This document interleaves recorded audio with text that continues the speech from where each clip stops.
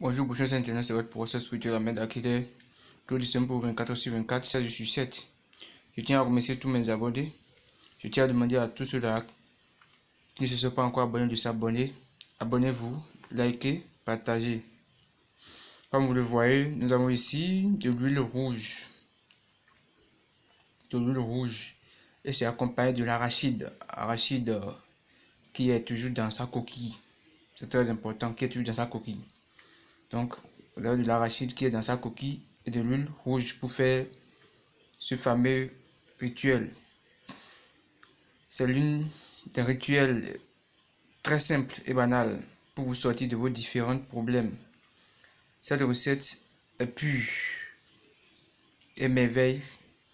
Hmm? C'est vraiment pur et très merveilleux. Faites-le et vous-même vous serez vraiment étonné.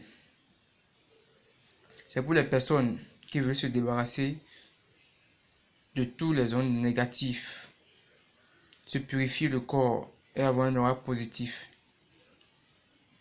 C'est un purificateur parmi tant d'autres. On ne perdez rien en essayant de le faire. Il vous faut juste 5 litres d'eau et 3 boîtes d'arachide. Quand il dit 3 boîtes, bon, c'est l'arachide hein, qui est dans sa coquille. 3 coquilles d'arachide.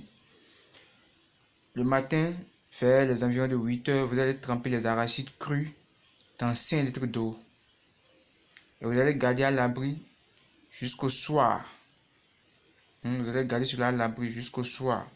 Vous allez constater que l'eau va se teinter. C'est de ça qu'on vous avez besoin. L'eau va se teinter à la couleur de la peau des arachides. Et alors, le soir, avant d'aller vous coucher, vous prenez l'eau, c'est-à-dire vous allez filtrer cela, vous allez extraire cela, uniquement l'eau que vous allez prendre et faire un bain avec sans vous essuyer le corps. Le bain se fait sans savon ni éponge. Vous revenez directement au lit pour vous coucher. Vous voyez, c'est banal et très simple, mais il y a une puissance derrière cela. Pour les arachides, faites-en ce que vous voulez.